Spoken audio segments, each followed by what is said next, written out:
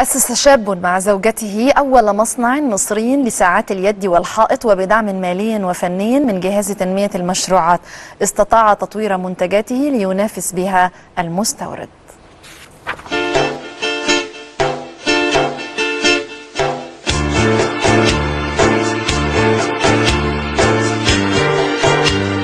أول مصنع لساعات اليد والحائط في مصر.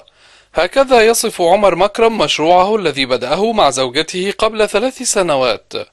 فكرة صغيرة تحولت إلى واقع كبير ومصنعين يعملان بلا انقطاع في إنتاج أكثر من 100 تصميم.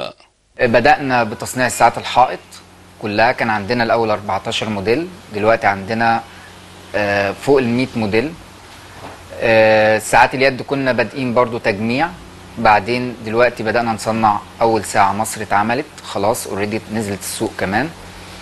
والمنبه برضو كان يعتبر إحنا أول ناس عملوا منبه في مصر. وده برضو أنتجنا موديلين ونزلوا already السوق والحمد لله كويسين. إحنا أساسا كنا بنستورد. يعني إحنا بداية الموضوع معانا كان الاستيراد. إيه اللي خلانا نتجه للتصنيع؟ ده كان آه نتيجة الظروف السياسية والاقتصادية اللي مرت بيها البلد. يعني إحنا عندنا في مجالنا القرارات الجديدة اللي طلعت بتحجيم الاستيراد تعويم الجنيه اداني مساحة إن أنا أقدر أجازف وأشتغل. النهارده آه الأول كنت بجيب الساعة أرخص من تكلفتها في مصر. النهارده لا أنا ببيع بنص تكلفة المستورد. الدعم الذي تلقاه عمر من جهاز تنمية المشروعات مهد له الطريق لبدء مشروعه ومن ثم التوسع فيه ومنحه الثقة بالدعم الفني والتقني. من شروط الترخيص الأول إن إحنا نروح الجهاز وناخد حاجة جواب من عنده اسمه قانونية المكان. ولما هم عرفوا إن أنا مشروع تصنيع آه، كان فيه اهتمام كبير جدا.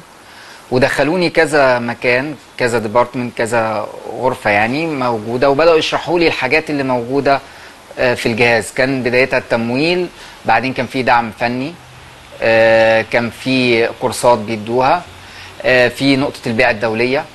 كانت حاجات كلها مهمة ليا. فده ادانا دفعه في الأول إن أنت عندك جهاز كامل آه، في ناس متخصصة جدا درسوا المشروع بتاعك ووافقوا عليه. اللي عجبني أكتر من التمويل أو اللي اللي حسيت فيه آه، إن فعلا أنت لما بتخش الجهاز بيبقى في حد جنبك حد سندك ما بعد التمويل.